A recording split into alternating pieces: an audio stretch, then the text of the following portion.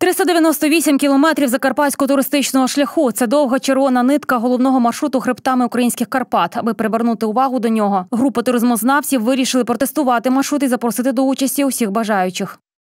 Це дуже хороша туристична фішка регіону. По-перше, Е, по-друге, треба спочатку досліджувати е, власний регіон, а потім уже напевно е, йти на інші туристичні маршрути, як, наприклад, шлях Святого Якова. Е, Дуже важливо знати туристичні маршрути краю, в якому ти живеш. Я думаю, що закарпатський туристичний шлях трошки недооцінений. Треба це змінити.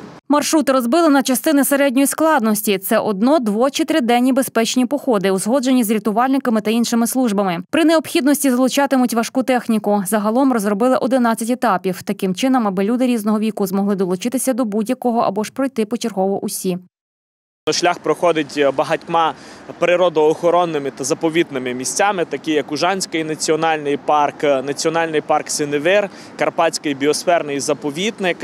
І ми теж на цьому будемо е, акцентувати увагу на унікальності куточків дикої місцевості, які є вздовж закарпатського туристичного шляху, популяризувати це з точки екологічного е, самопізнання, збереження і культурно-естетичної насолоди, і брати свою позитивну порцію емоцій від Перший етап стартує 3 травня з Руського мочера і завершується у діловому 27 вересня. Маршрут починається на Березнянщині, далі йде вододільним хребтом, боржавою, горганами, полонина красна, свидовець, мармороси. Оскільки пройти 400 кілометрів і всі етапи, з яких, з яких складається маршрут, е, це не саме проста задача, і треба мати трошки і бажання, і часу, і наснаги на це, то ми вирішили зафіксувати це все в паспорті учасника.